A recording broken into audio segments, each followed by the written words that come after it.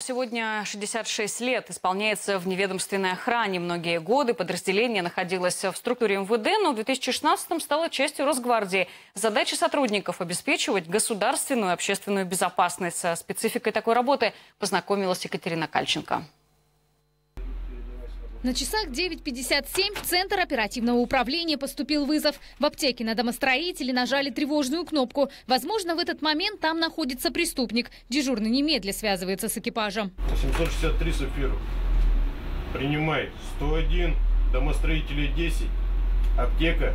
Принял 63. Домостроителей 10. Аптека. Нахожусь 50 лет октября, Одесская.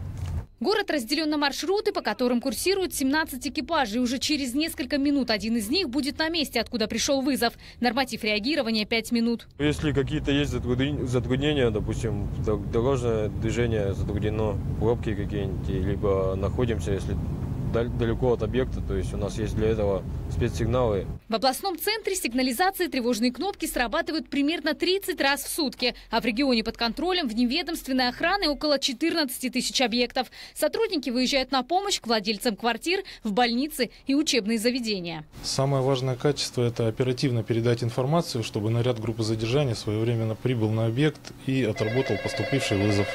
Сотрудники работают здесь круглые сутки, то есть по сменам. Сутки отработал, далее другая смена заступает. То есть в течение суток Постоянно здесь кто-то находится и передает информацию. Вызов в аптеку на домостроителе тренировочный. Условного противника обезвредили. Но фармацевты, торгующие в том числе и сильнодействующими препаратами, могут оказаться в подобной ситуации каждый день. Неадекватное поведение, то есть либо человек находится в каком-то опьянении, либо просто в связи с заболеванием. Поэтому бывают ситуации разные, да. Сколько раз уже на свою память вызывали?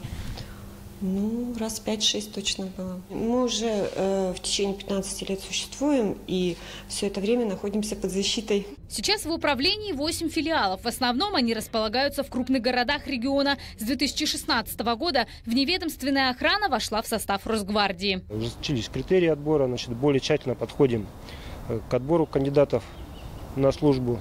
Значит, э, особое внимание уделяется обучению личного состава. А это значит, свою главную функцию – обеспечить общественную безопасность – охранники выполнят. Екатерина Кальченко, Евгений Доценко, Тюменское время.